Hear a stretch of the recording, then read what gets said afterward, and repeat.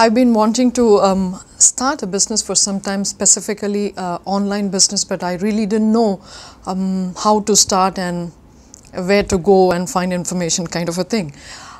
I'm glad uh, that I found Dom. Um, whatever he speaks, he, it comes from his heart.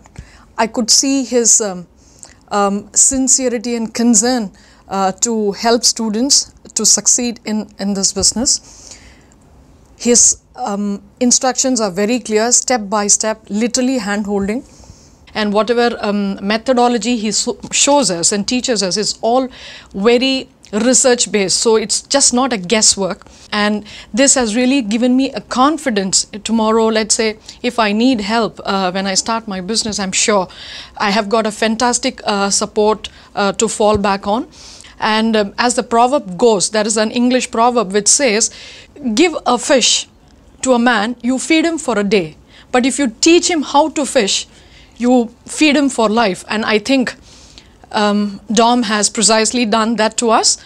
I'm very grateful to him and I'm, I'm very happy and I'm very confident that I can emerge in this business very successfully. Thank you.